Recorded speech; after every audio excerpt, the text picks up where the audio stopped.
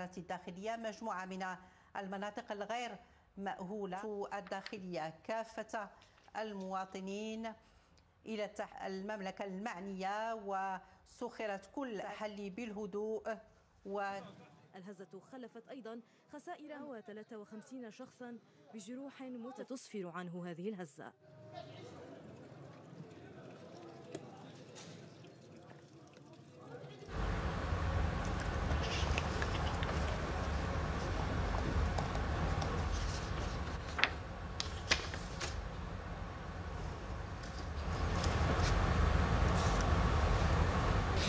استشعرتها الساكنة بشكل واضح. تعبئة مكثفة للسلطات توخي الحيطة والحذر مطلوب.